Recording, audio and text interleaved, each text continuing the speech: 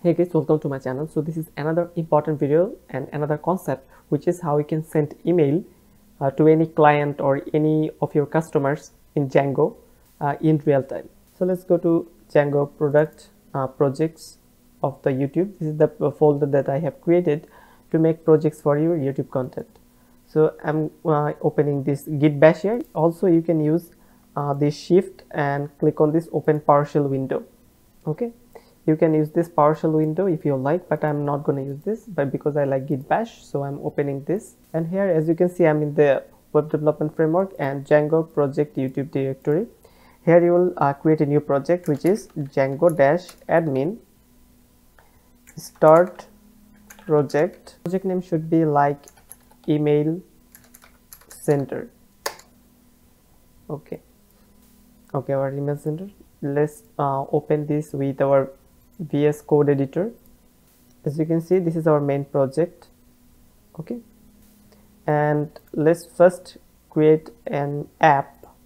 So now to go to new terminal. Here in the email sender project file I'm gonna create an app which is python manage.py start app and its name should be suppose send email. Okay okay this is the email sender is our project name and send email is our app name. We need to import that app in the settings file so we need to go to the inside of send email app and go to apps.py and just copy this name. Okay our main app name is send email. So go to the main project setting and go to install apps okay you need to write send email dot apps dot send email config. So send mail is our main app name dot apps dot send email config. Okay. So email config while we get it from the apps.py file as you can see this one. So before we go before we write something in the setting we need to do something. Let me create uh, an url.py file in the app. So new file urls.py file so for now i'm keeping it at empty blank because we will come here later okay? So first we need to go to the email sender. In the settings we need to write something for email configuration. This is the configuration thing that we need to add from any django project. If we want to send email to write email host okay? So email host is smtp dot gmail dot com okay? This is our host. Smtp dot gmail dot com. This is our host. Then we have email underscore port. This is our port number which is 587 then we need to write our email host name. Who is going to send the email? Email host user. And email host user is my uh, this gmail account. So let's write it and then we need to write a sensitive information which is email host password. Email host password. And it this password is very sensitive okay? Very sensitive information. When you want to uh, give this password is the is the gmail this gmail account's password. So it should be hidden. But when i'm going to upload the video I will make it blur so that you can don't understand it what I'm writing because it is very sensitive information. And then we need to write email use TLS okay which is true and email use SSL you need to just modify it for your own in your own project that which one works for you okay. So in my case the TLS works perfectly. If you if you keep tls is equals to true it works for me. When you select then ssl is equals to false and tls is equals to true it works for me. But in case you you have you might have different configuration. When you give all the information there you just need to go to the your app which is sent mail and go to views.py in the views.py file in the application. You need to create your own function. So let's go to the django documentation and search for email. Okay? Say go to send email. And here you have a code uh, module or packages that you need to import from django.core.mail let me show you in bigger format. You need to write from django.core.mail import send mail. This is the function that you need to import. So if you write this function you can add your subject your body messages of your email your subject of your email and uh, all the body thing. And you the sender this is the sender email that you will send email from. And this is the list as you can see this is a list. It is a list of uh, users that you want to send email from your um, website that you want. It can be your client it can be your customers anything. And you write fail silently is equals to false. It shows that if you fail to send error uh, say if you if you suppose if you are, if you fail to uh, send the email and this will trigger some error functionality so that you can understand that your email didn't send properly. You can do this. Okay. django dot core dot mail import send mail functionality. Okay. Here to write def send email. Okay. It will take a request and you need to just write send mail. This is the this is the main function that you import from django core.mail and here as you can see you have the option to write subject in the parameter then message that what message you want to parse then from email from which person you are sending the email and the recipient list. This should be a list of string okay that you want to send email to.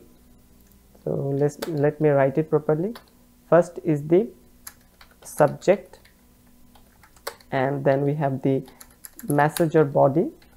Then we have sender email. And then we have the list of email that we want to send mail to. Okay. You can add multiple like this. That list of you list of gmail as you can see uh, you can add multiple gmail account like you can copy this and send whichever user you like. You can do this for many users okay? But i'm just sending it for one user only which is fine. And fail silently is equals to false. Okay so that we can get what kind of error we get when the send functionality doesn't work then we need to return something. Return render function which will take a request and an html page. Okay. When this if a send email function works we're gonna return something. So we may send email uh, app and just create a new folder called templates. Any the templates we're to create uh, a new folder. It name should be send email okay the name same as this app name. And just uh, in the new file you just create send mail.html okay. Okay. Let's write send mail as title. And here in the h1 tag you will write email is sent successfully okay. When you send the email uh, properly then we will redirect us to that send email file and go to send email.html okay. We'll pass the context to that page. Send email is the what this uh, folder and then we go to the send email which is send email dot email.html page. If you want to pass any context you can do this okay? But in that case i don't need anything to pass. Okay? So our main functionality is done. Now we need to just copy this uh, function function name which is send email and go to urls.py file. And here we'll write from django dot urls import path. We'll write url patterns. We will give it a path in the root directory we will import the views from dot import views. The views we have a views we have some function which name is send email function.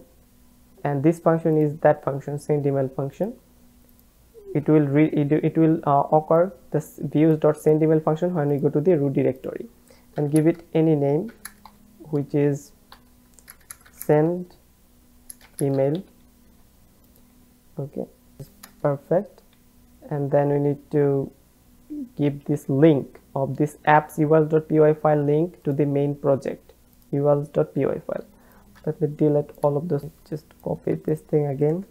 And we need to include that app which for that we need to go to the django urls import path and include.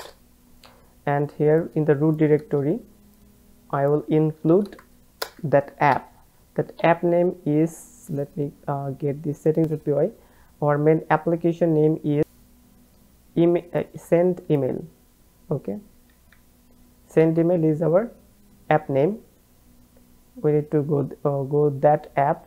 This is our app name. And in urls.py file we need to just paste it send email dot urls so we are uh, saying this that in the root directory you will go to send email app and go to its own urls.py file so we linked it properly just save the file. Okay so make sure it is a root directory and in the urls.py of the app it is also root directory. So let me check it if it is working or not. For we need to start our server which is python manage dot uh, py run server. I want to send something subject like hello deep message. Hey how are you man? This is from Django website. I'll send that email to that uh, that email or the Gmail that we want to send. It will will see all the result in that email because I'm sending it from this email okay? So send email slash send email dot html does not exist. So what's the problem? Okay say it should be send mail. Send mail. So this file name should be same as this file name send mail.html let me refresh it. Okay email sent is successful. So as you can see uh, it is from great Adib 82 as you can see subject hello Adib and the message is how are you and this is from django website. As you can see the gmail is sent from this account my another account and the message is message hey how are you man? This is from django website. This is perfectly done and as you can see it is perfectly done. If you write it like in a variable like subject is equals to this thing let me copy this thing and paste here. And let me paste it subject as a variable. Let me copy this whole body and write it main message. We want to send it here and let's delete it and write message as a variable. Then I want to write the sender. Sender is it is working working. Okay the email is sent properly.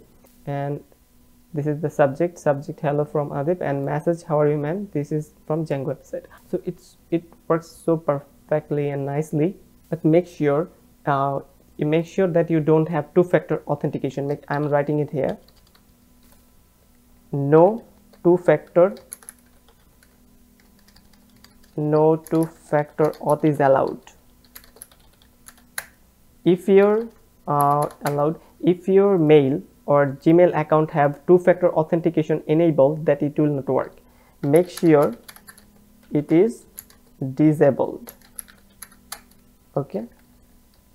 Make sure your two-factor authentication is disabled. Uh, otherwise, it will not work. And another thing is important, which is go to my accounts dot google.com slash less secure apps. Just go to that directory. Just um, copy this thing. First go to the my account dot google dot com slash less secure apps. So copy that link okay? Just copying that link and pasting it here. And as you can see uh, it is enabled. Allow less secure apps is turned on. If it if you keep it as off okay it will be more secure but your email sending functionality will not work but if you keep it as on okay it will work. Make sure that you turn that on. And your two-factor authentication is turned off. In these two condition it will work. So make sure that okay? So this is the main thing that you want to learn. Okay so that that's all for it guys. That is the main email functionality how you send email in django. So thanks for watching. I will come up with the next video with a lot of amazing content. Till then subscribe to my channel and keep staying with me